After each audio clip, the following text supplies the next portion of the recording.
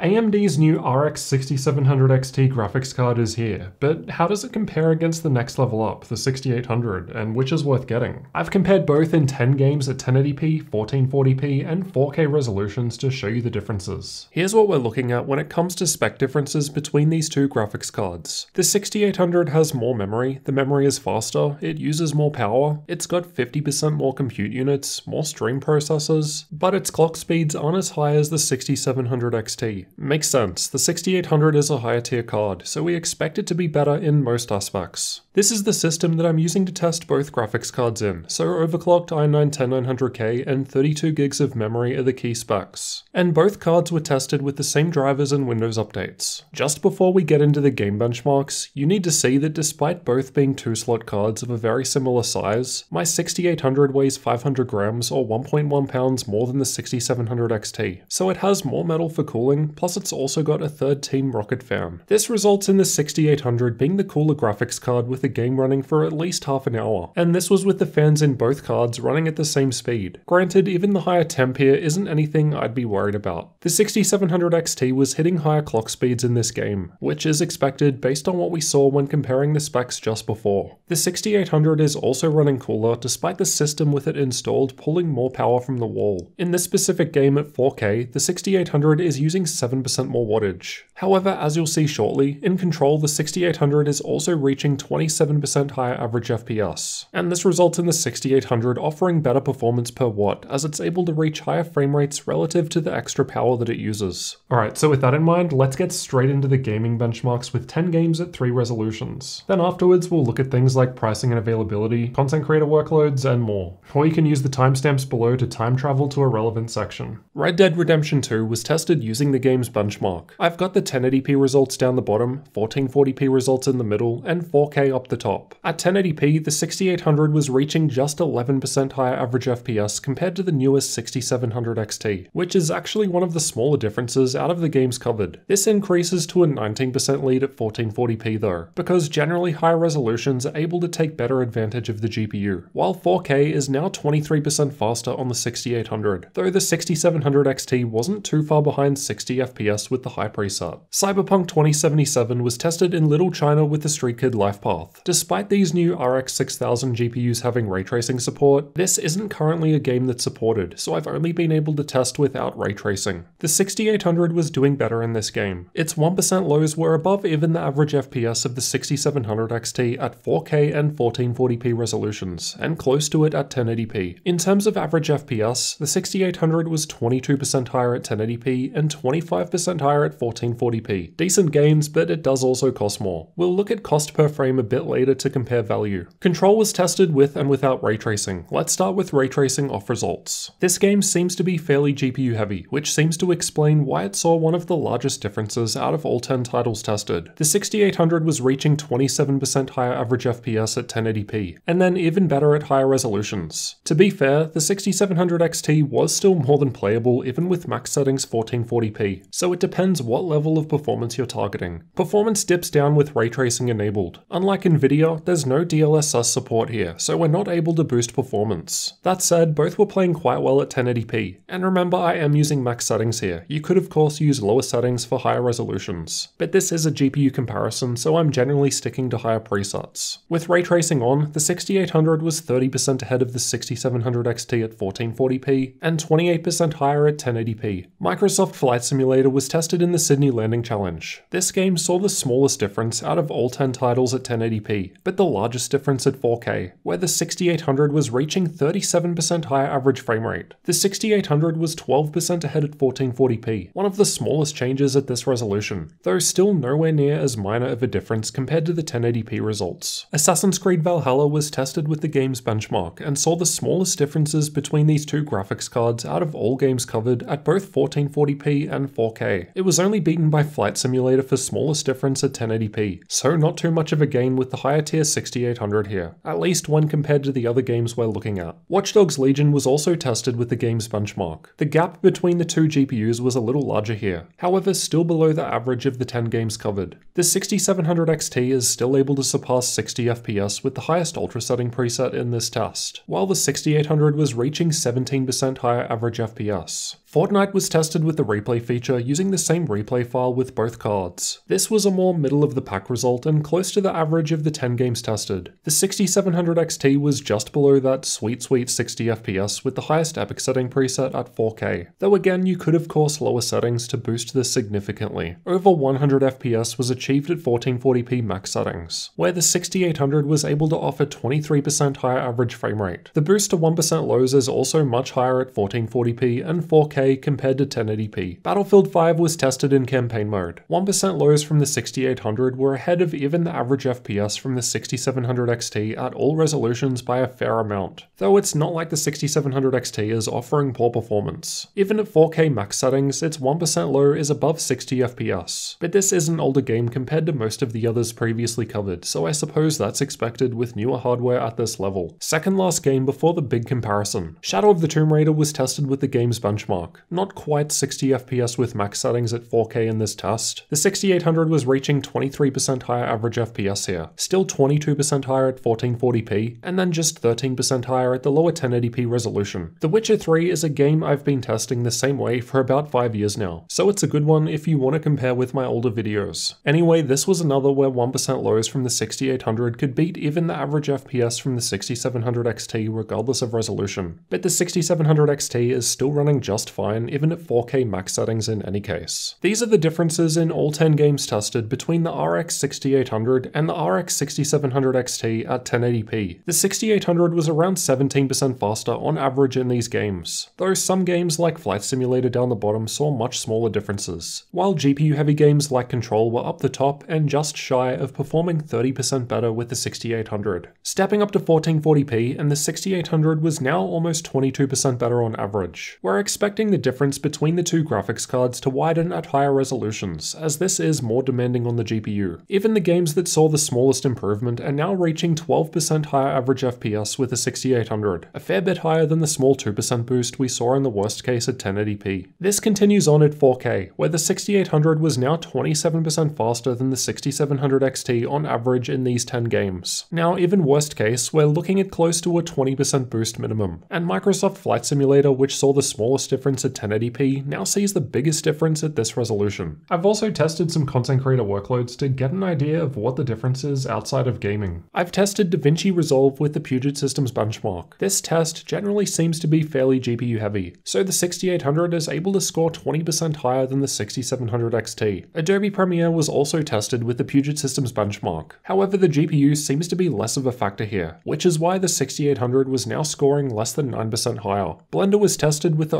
OpenData benchmark with the BMW and Classroom tests using OpenCL. This one is definitely more GPU dependent, and the 6800 was completing the longer Classroom test 27% faster than the 6700 XT. SpecViewPerf tests out a bunch of professional 3D workloads. The 6800 was ahead for the most part, however the margins could vary a bit depending on the specific test. Now let's discuss pricing. You can find updated prices linked in the description. Of course, assuming there's actually stock available, which has been a big issue lately. The 6700 XT is meant to launch with a 480 US dollar MSRP, and AMD do seem confident in their ability to have supply at launch. But this wouldn't be the first time that we've heard that from them. Unfortunately, I'm making this video before the launch, so I haven't had a chance to see what actual prices will be like. Anyway, the 6800 on the other hand launched $100 higher at 580 US dollars. However, on Newegg at the moment, the lower prices are closer to $700, and these aren't even in stock. When making the cost per frame graph, I've included the more realistic price of the 6800 in the red bar. Assuming MSRP in the purple bars though, the 6800 actually offers better value in terms of 1440p and 4K. The 6700 XT offers slightly better value at 1080p, but it's a narrow difference. And the actual price after launch will probably be higher, which would change this. It of course comes down to what your budget is and what level of performance you're targeting. But assuming both were available at MSRP, I think the extra price for the 6800 is worth it relative to the extra performance on offer. It's also worth noting that in this video, I tested with resizable bar disabled. The reason will be clear in tomorrow's 6700 XT versus RTX 3070 comparison. But even if I did test this on both cards, it's a feature that they both have, so I wouldn't expect this to change the conclusion. So yeah, in addition to comparing the 6700 XT against the Nvidia RTX 3070, I'll also be comparing it against the RX 5700 XT from last generation. So make sure you're subscribed for all of those upcoming GPU comparisons. For now though, you can check out some of my other GPU comparisons over here, so I'll see you over in one of those next.